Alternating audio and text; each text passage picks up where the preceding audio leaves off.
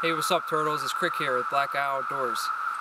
And I don't know if you can hear this sound that's sort of resonating all around me right now. It's this high-pitched sound, and that's actually a cicada. This is a 17-year hatch. There's one right here that I'm going to ask Tony to get in frame that we uh, saw walking along the path.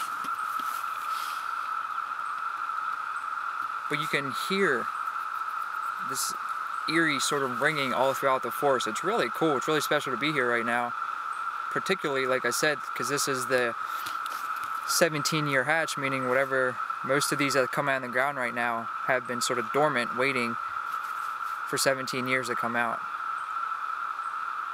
And cicadas will come out of the ground, they'll usually crawl on a tree, up a tree, hang on a branch, and then sort of and then they'll split out and you'll see their exoskeletons left as they come out and then this will be their sort of final form in their in their life cycle just really crazy, really cool stuff in the forest.